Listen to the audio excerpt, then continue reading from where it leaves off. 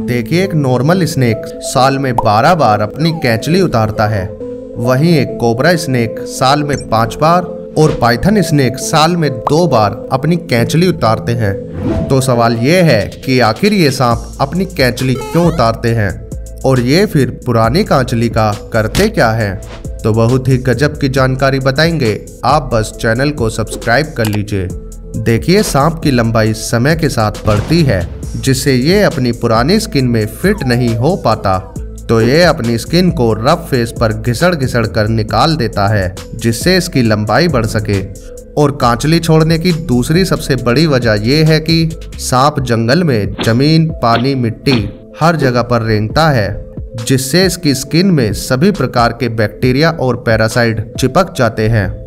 अब इस भाई को इन्फेक्शन ना हो जाए तो ये बिना डॉक्टर की सलाह के अपनी स्किन को उतार देता है। गजब बेजती है।